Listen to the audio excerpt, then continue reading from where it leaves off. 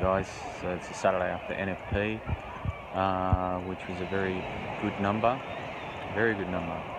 Um, and uh, they set a high bar to aim for, and um, that should have moved the price, but it didn't. So there's something that we can read in that, uh, and that I can teach you uh, if you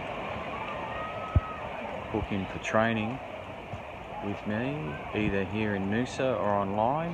Uh, I will include a link to my website which allows you to register and uh, let's have a Skype chat first and let me know where you're at in terms of trading, uh, you've been demo trading for a while. But what I will teach you is how to identify that trend and get into it when it turns and stay in it.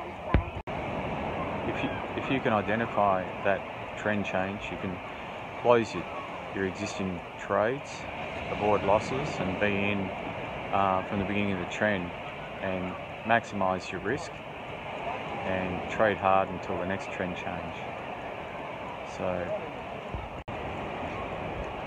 so you're effectively swing trading and you're aiming for 30% a week and when you're achieving that, the next swing or the next week, you're compounding your new balance.